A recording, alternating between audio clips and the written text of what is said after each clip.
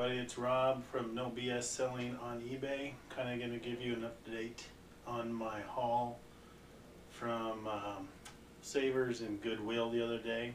Um, basically, it wasn't really much to get. Uh, Savers had half off on pants sale, so I was trying to get involved in the Levi's and things like that. Um, really very slim picking. I did get a pair of these jeans right here. You can see them. They're called Coogi, Coogi, C-O-O-G-I.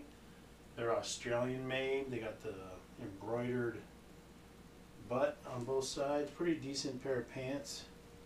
They have some damage on the cuffs, but you know, they'll do all right. Um, on eBay, I saw a pair similar going for hundred dollars.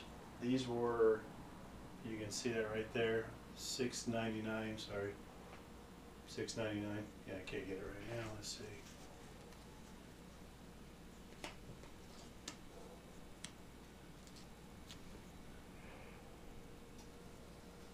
See, it's upside down.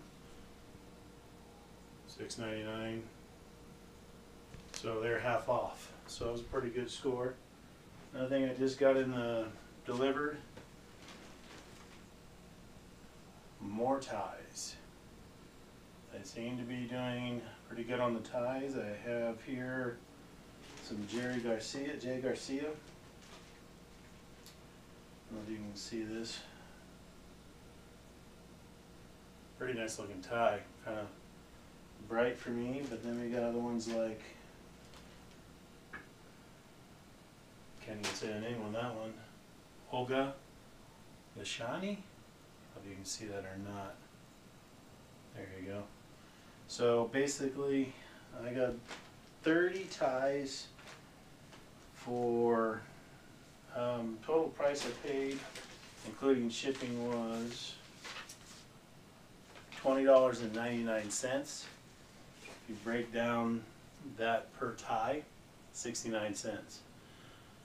So if I list, list them, I'm usually putting my ties at 295 and uh, 277 in shipping. to go first class. I don't know. I'm not doing. Um, kind of leaning away from the free shipping, only because um, I shipped some other products and uh, they came back in were more than what I anticipated. So I kind of lost a little bit on my profit but they weren't ties, they were auto parts and um, um, like a lunchbox that I made a deal on to sell for best, you know, best offer, and the guy didn't pay the freight, but because my original listing on eBay said free shipping, I had to honor it, and I'm not really going to want to take a negative feedback over, you know, five dollars. Just wasn't worth it. So those will go out. Here's another thing to look at. You know, you order a few boxes from the post office, they send you quite a bit of boxes. I have to get those taken back. So when you order the boxes from the post office, be very leery or very aware on how many boxes you're requesting. I requested one. I've got 15 that I have to take back. So that was a big mistake on UP on the post office, but because they ship me boxes all the time and I'm pretty good friends with the post person, you know, it is what it is. Um, another thing I've talked about too was Savers and Goodwill and out here at the Opportunity House. You know, I'm talking to uh, Luke at Endless Up Entrepreneurs and uh, Steve with Rican Profits and you know, those guys are very helpful. You know, they answer your questions. They're not too big to where they want to answer your questions. So I've been back and forth with Luke. You know, he's out in Charlotte. So is uh, Steve. I think they're at back east too. And also there's another guy, Prof Sales, very helpful guy as far as you know getting the Levi market and stuff. The problem here is in California that um, Savers and those guys, they don't have, they don't do it by a flat rate. Um, Goodwill does, I think they're like six ninety nine, but the jeans that I found there, just aren't worth it. Um, they're mediocre jeans. They may bring you a pretty good return, although the ones I've seen there just recently were pretty much trashed and beat up. They were, you know, holes in them. The cuffs were all scuffed up, missing buttons. The pockets were torn. You know, as, as far as I can tell right now, the quality of stuff donated goes to Savers. Savers is very pricey unless you can get on a half off day and um, get them at a pretty decent rate. But if you look at those jeans there at six ninety nine or whatever they were, you're gonna try and make ten dollars profit. So you're sixteen ninety nine, and if you do free shipping, now there's two, you know, five dollars. So you're down to, you know, what is it, eleven dollars after you factor in, you know, what you've paid for them and then putting them in the box and getting ready to go. You know, all those other guys I mentioned in the beginning, they all do free shipping. So, but they're also getting their jeans way less than what we're, I'm paying. So I'm kind of on the fence as far as listing for free. I mean, listing uh, free shipping compared to charging a few dollars to get some kind of money back on the shipping.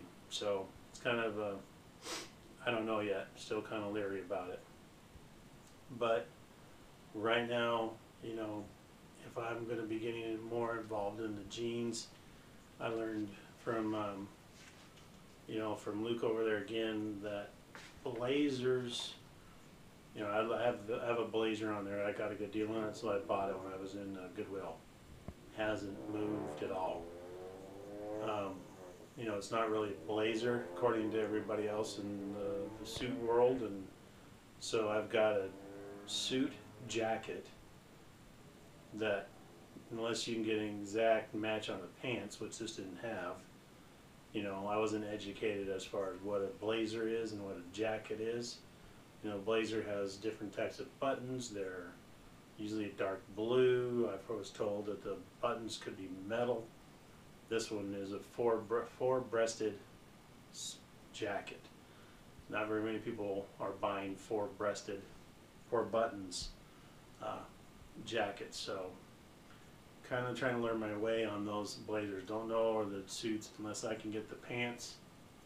I would not recommend that you get involved with them. And out here, again in California, they are anywhere from nine ninety nine to $16, 17 dollars. I saw a Ralph Lauren for seventeen dollars. Now on eBay they're going for seventeen dollars. So you're not going to make any money on those type of things um, unless you get them on a half off sale day, which you know Savers and those guys very rarely do it.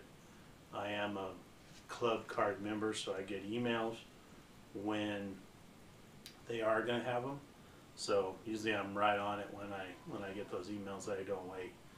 Um, I'm kind of wondering if anybody's ever ventured into buying stuff at like out here. There's Kohl's and Marshalls, but I don't think they have very many brand name jeans that you're going to get like you know Diesel or Miss Me's Miss Me jeans. You know um, anything like that. I notice those jeans go for good money, but you got to find them. That's another thing.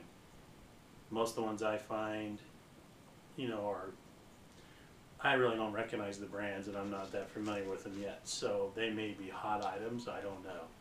I mean, I'm gonna list some old Levi 501s that I have. See how they go. I mean, Levi's is staple of a lot of jeans I see out there on eBay. Problem with that is there's a lot of them. So you know, unless you have that one size, which, you know, this is a 40 by 32. You know, last time I looked on eBay, there was about like 700 of them. So do you really want to cut a profit and take a hit, or not a hit, but you want to make less and list more? That's the dilemma I keep running into because of the pricing out here from these guys. Again, on eBay, I mean on Savers and um, Goodwill and uh, the one out here, the Opportunity House, you know, they're pricing high. So, as a reseller, trying to get into the business to get things going and get an understanding of what I can price them at and make money. That's the whole thing. I gotta make money. I'm trying to make at least ten dollars per jean. Um, the ties, you know, after I list those ties there, I'm probably gonna have a hundred of them on my store. So, are they good? They're nice ties. Are they selling? Not really. I'm doing an auction on half of them and buy it now. I got a real oddball, goofy looking tie that I thought nobody in their right mind is going to bid on compared to the Jay Garcias and the Ralph um, Ralph Lauren's and the other ones I have on there, the higher end ties. It's people are bidding on it, and I'm just amazed. It's an absolutely ugly tie. I would never wear it, even if I was. I just would never wear it. It's ugly, but it's selling. So I'm kind of learning that the oddity of the product is what's selling. The cookie cutter, plain Jane, normal tie looking, normal pair of jeans, normal jackets. I mean, I got leather jackets on my store. Two nice leather jackets. One I've had for years. Decided to sell it. I never wear it. It's been sitting in my closet. I can't get rid of it. And it's a good jacket. Nothing wrong with it. I got another one I've had for even longer, heavy jacket. Could be considered for a motorcycle riding jacket. Still can't get rid of it. And I don't know why. I listed it off of somebody who had already sold one similar, high price, use their, you know, buy it. I basically just said, you know, sell one like that, or however that is on eBay. I haven't got a darn thing. And my price is lower than the one that sold. So I'm trying to understand things a little more still, and it's taking time. And you know, like everybody, like Luke and all those guys have said the same thing. It doesn't happen overnight. I've seriously been only going at this full, uh, real serious, for probably a two months, a month if that.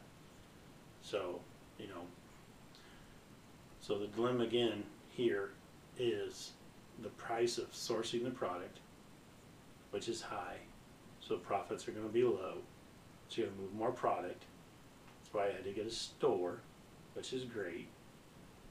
But then now out here in California, it's getting, you know, warmer weather and pretty soon the, um, the garage sales are all gonna be coming out.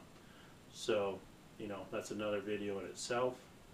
I'm gonna list these things probably for, be ready on Saturday. It's Thursday here now.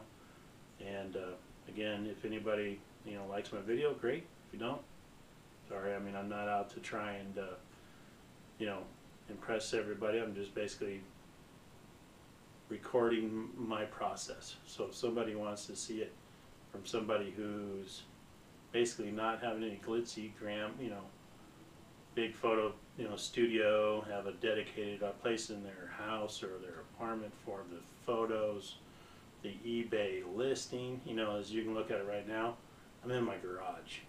This is the only place I have that I can store the stuff I've gotten. I can't put it in the house because, you know, I just can't have boxes everywhere. I list from my laptop sitting at a computer desk, basic as it can get. This is the reason why I put no BS selling on eBay is because I'm not showing any frills. Straight up what I do. This is my thought process. Hopefully, you know, you listen and uh, you guys can uh, like my video and even answer me a question. Maybe I can figure it out or we can figure it out together. But, you know, these are going to be taken, take photos of them, inventory them, and hopefully get them up on, uh, up on the eBay for this Sunday. All right, this is Rob. Going to end up this video uh, for No BS Selling on eBay. You guys have a good night. Talk to you later.